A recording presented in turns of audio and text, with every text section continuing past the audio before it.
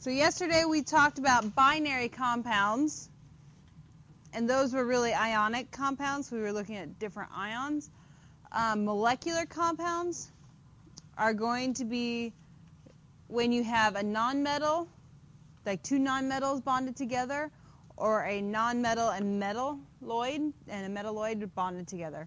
And if you look on the ion chart, they would both be negatively charged ions. You'd have two anions bonded together, and that would make that a molecular compound because they're going to look very similar in their chemical formula, but you need to be able to recognize that as a molecular molecular compound because there's a different, totally different way of naming them when they're molecular. Um, so the element further left on the periodic table is always listed first, or the element clo closest to the bottom is listed first. And if more than one compound can be formed from the same elements, we use prefixes to indicate the number of each atom. So whenever we have a molecular formula, we're going to be using prefixes.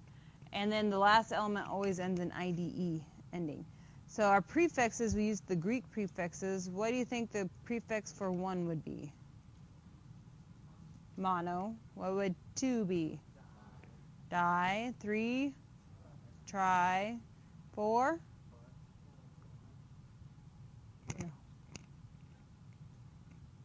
Tetra. Tetra. Yes. Um, one way to remember that, Tetris, you know the game always four blocks. Mm-hmm. All of them have four blocks. Yep. Tetris. Tetra. Um, four, five. Penta. And then six. Hexa. Seven. Hepta. Hepta. Nine octa, not, or eight, sorry, I skipped eight. Eight is octa. Nine, nona, and then ten, deca. You need to know those. I should say them all again, or I could do that. Now we so we use the Greek prefixes. There's also Latin prefixes and the other prefixes that you're used to, but we use the Greek prefixes for these. Um, we do not have to put the prefix mono in front of the first element. So as long as there's only one, you don't need to put a prefix in front of the first element.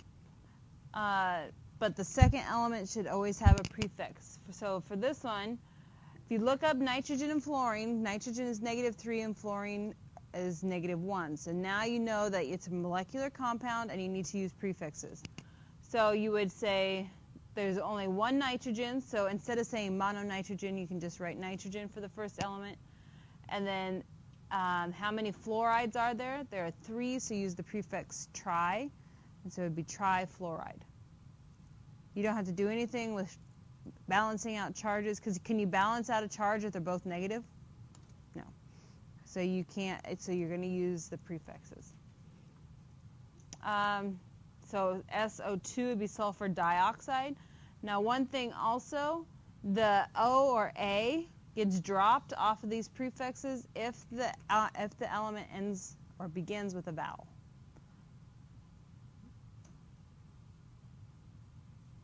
There's a few with iodine that will keep the A. But oxygen, like if you have oxygen, you would drop the O or A. So instead of monooxygen, it's just, or monooxide, it'd be monoxide.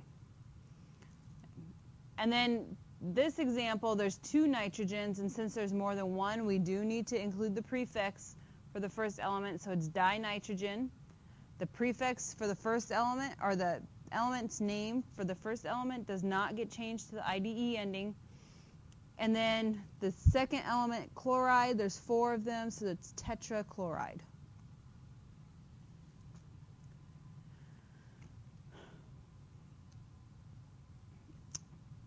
So the first, when you have a compound and you're trying to determine how to name it, you want to look and see if it's an ionic compound, that means it has a cation and an anion. If it has both anions and it's a molecular compound and the naming system you use is prefixes, um, if it's ionic and the cation only has one charge, then you name the metal first and then change it to IDE ending. If the cation has more than one charge, make sure that you use the Roman numerals in parentheses. That's what that chart is telling us. So how would we name these? What would the names of these compounds be?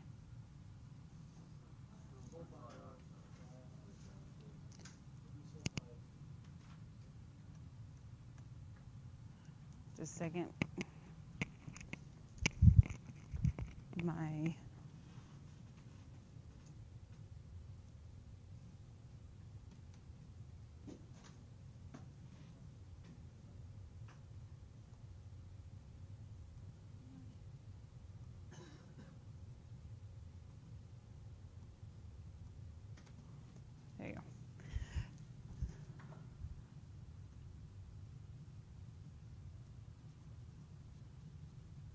sulfur trioxide. Sulfide or ite. Sulfite has a 2 minus charge. There's no charge there. So you know it has to be a molecular compound. Yep.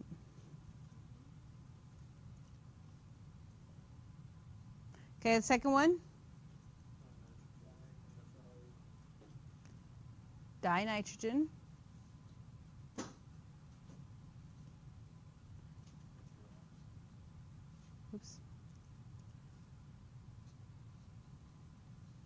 This is where you're going to drop the A and says tetroxide, not tetraoxide. It's tetroxide. Uh, CO.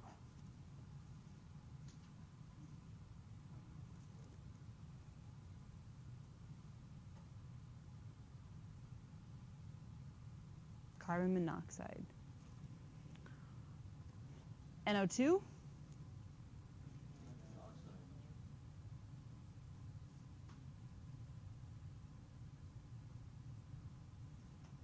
And N2O.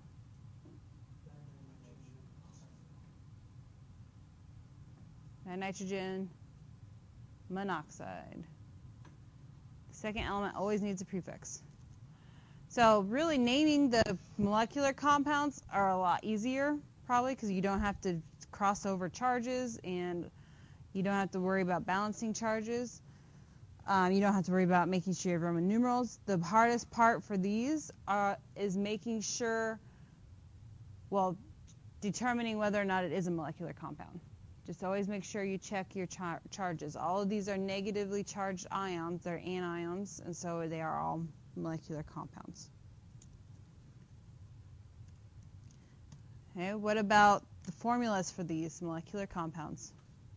Carbon disulfide would be, right, just CS2. It's telling us we have two sulfurs. That's all we have to do. We don't have to move the two over or anything. How about disilicon hexabromide?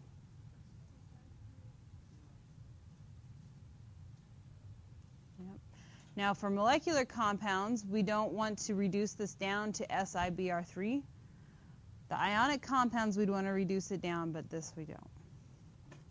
Okay, next one. SF4, good. And last one? O5, very good.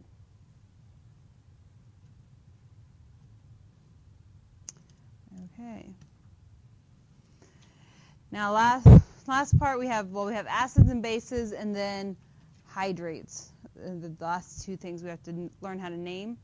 And acids, um, well, a compound is is an acid if its cation is hydrogen. So if hydrogen is the first element in the compound, or if you look at the cation and it's hydrogen, it is an acid. And when you name an acid, the the anion name needs to change. We're going to change the ending. So anions with IDE. So like if it's just HCl, that would be hydrogen chloride. But since it's an acid, we're going to change the IDE to a hydro prefix. And then we're going to change IDE to IC. So instead of saying hydrogen chloride, the name of that acid would be hydrochloric acid. We add hydro, then chloric, we change the IDE to IC, and then it's an acid, so hydrochloric acid. Um, oxoacids are basically any of the acids where the anion is the polyatomic ion because all those polyatomic ions, most of them have oxygen in them. Uh, so here's an example of one of those acids, that's carbonic acid. And I think the next slide we should have the rules for that. Yes. So if you notice, look at your ion chart and find chloride. Or not chloride, chlorate. Find chlorate. ClO 3, negative. So what would the difference between chlorate and chlorite be?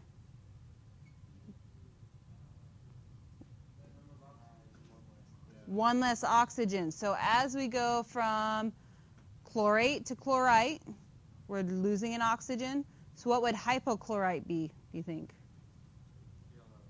Right, you subtract another oxygen, so it's just ClO. If you find hypochlorite on your chart, it is ClO with a minus one charge.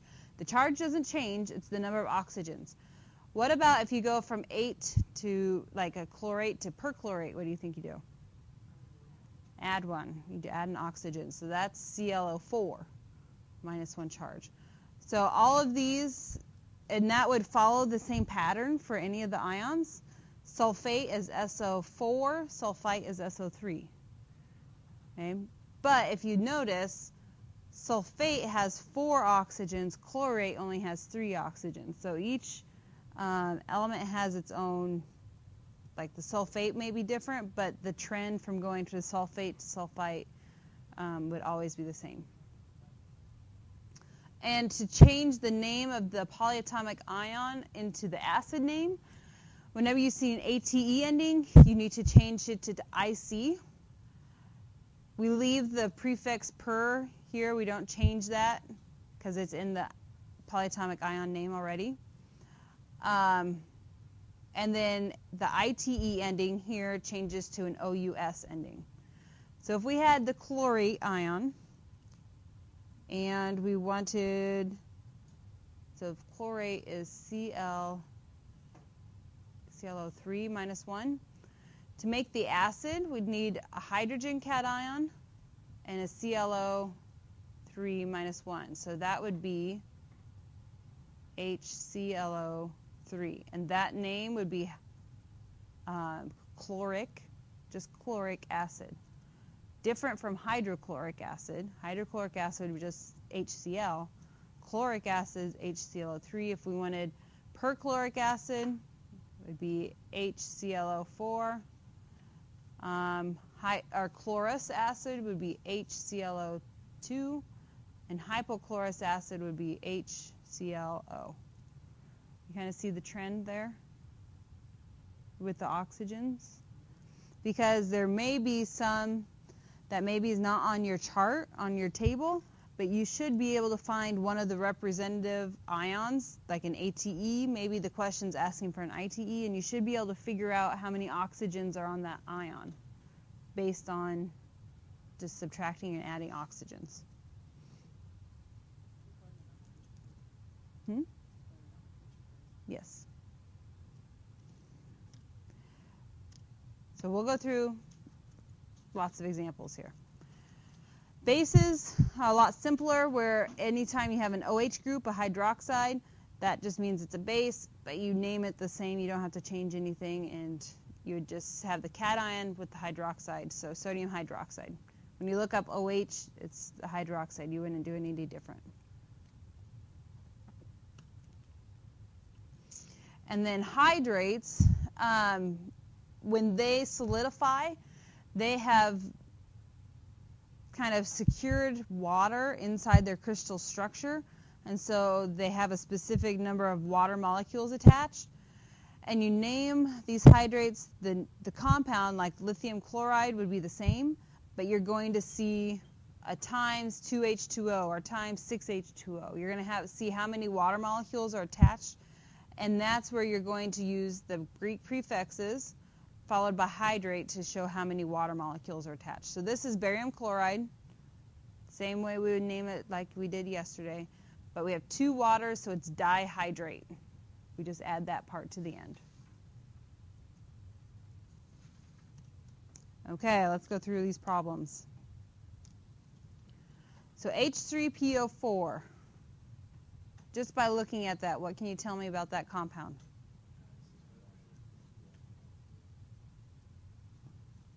Has two water molecules? If it had water molecules, it would look like this down here. Okay, hydrogen is our cation, so what does that make that? Acid. It's an acid. So right away you should be able to tell it's an acid. Um, so we need to look up PO4. What is PO4? Okay, so it's phosphate. And when we name acids, the ATE ending changes to what? Right, we need to change it to an IC. So we would have, and now phos, phosphate actually is a little different where it, instead of just dropping the AT and IC, it actually adds an OR in there.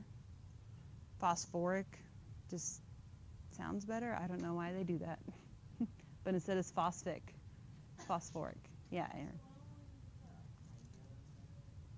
Only if it's right, if it's two hydrogen and one other element. Yes. Correct. The hydro. When we get down to this one, though, we will. Okay. Um, this one, again, hydrogen as a cation, so it's an acid. So look up BRO3. Bromate. So what would the name of this acid be? Yep. Bromic acid. Change the ATE to an IC ending, and it would just be bromic acid.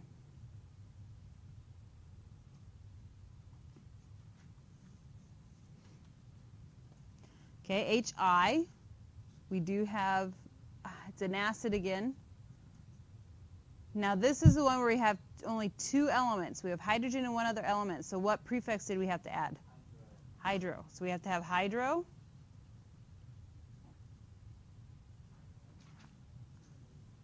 Iodic acid.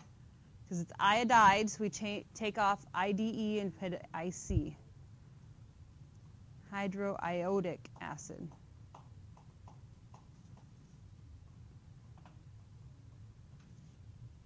How about H2SO4? Question. Yes. Do the H's in front even matter? Like the first one has three and the second one has one. Nope. Really pay attention to those? It's just telling you it's an acid. Now, why is there three and only one here? The balance of the equation, right? Right. Phosphate's a three minus charge, whereas bromate's a minus one charge. The hydro part?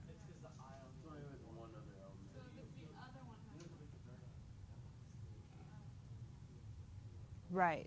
These have three elements, three elements. This only has two elements. Okay, what'd you get? Uh-huh. Now, this is another one. This is actually sulfate.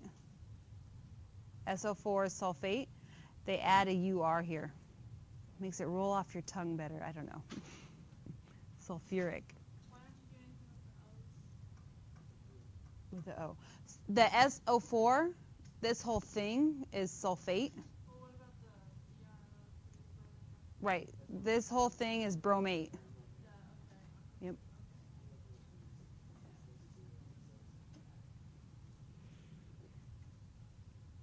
Okay, is the next one an acid?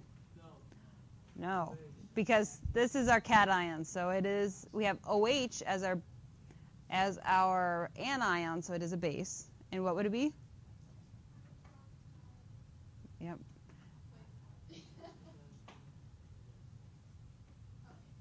Right. Potassium hydroxide. You name it the same way you would with the with the ones we did yesterday. How about the second one or this one? I guess not.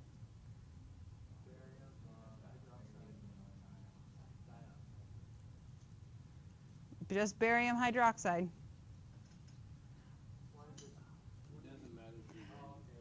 The only time we use the prefixes is when they were both anions. This is a cation and an anion, so we don't use prefixes.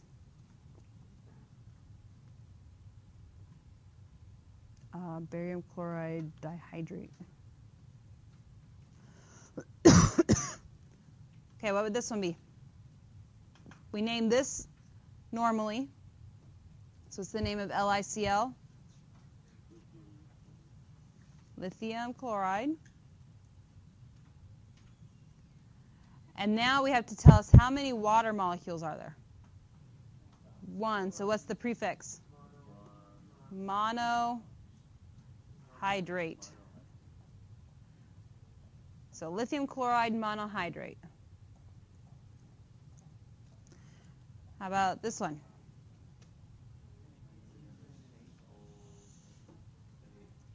Magnesium sulfate.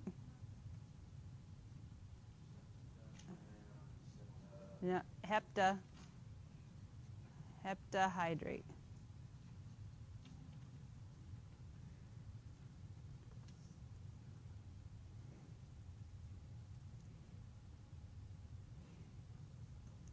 Questions on those?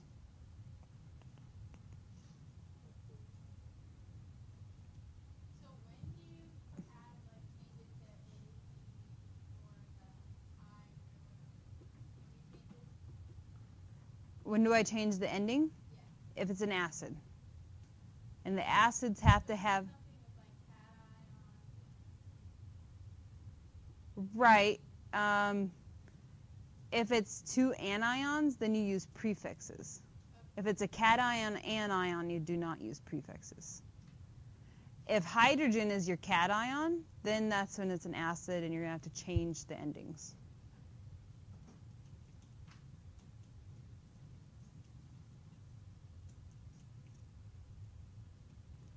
Um, I think the next slide probably has where we have to write the actual compound, the formula.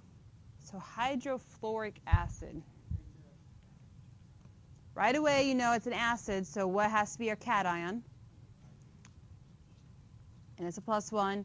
And hydro means it's only hydrogen and the other element, and the other element must be fluorine. So we have F, so minus one, so our formula would be HF. Yes. They're both minus one, plus one. How about carbonic acid? We have H, it has to be our cation. What do we need to look for? Are we looking for carbon? Right? But which is it is it just H and carbon? If it was just hydrogen and carbon, it would be have a hydro prefix, right? So we need to look for carb carbonate. So since it's an eight um, IC ending, that means it was from an ATE ending. So we need to look for carbonate. So look up carbonate, and it's and so what would our formula be? H2 CO3. We still need to balance the charges. Does that make sense how we go? So you know that it's an acid, so we have H plus, right? So now we have to determine is it just one element or a polyatomic ion? Since there's no hydro, then we know it's a polyatomic ion. And the IC ending always comes from an ATE ending. So you look for, yep, you'd look for carbonate. So when you look up carbonate, it's a CO3 2 minus.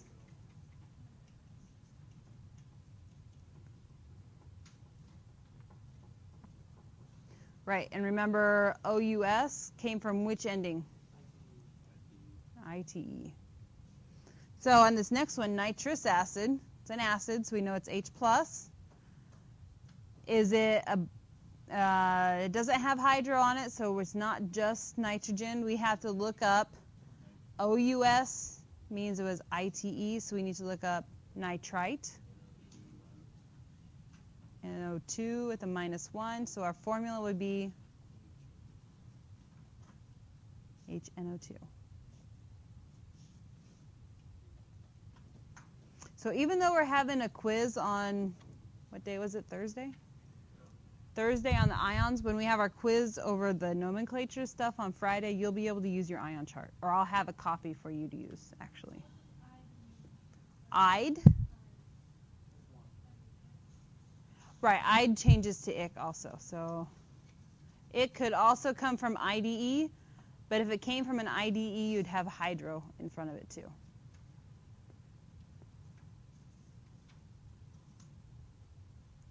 Okay, permanganic acid.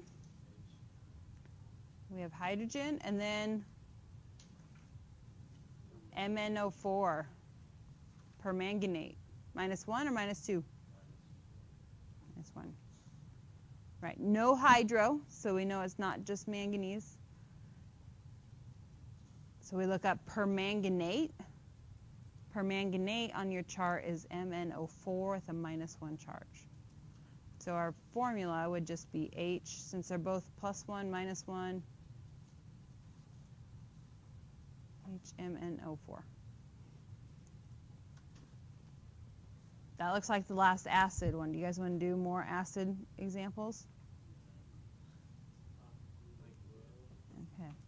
How about calcium hydroxide?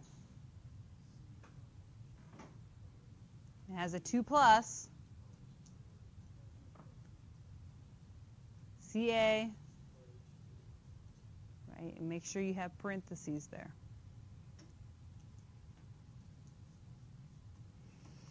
Last one.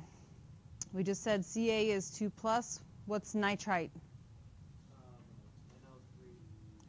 Um, NO2 minus 1. So what would our formula be?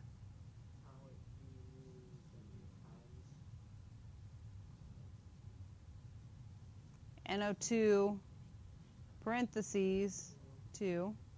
Okay, and now we have the times 5 water, H2O.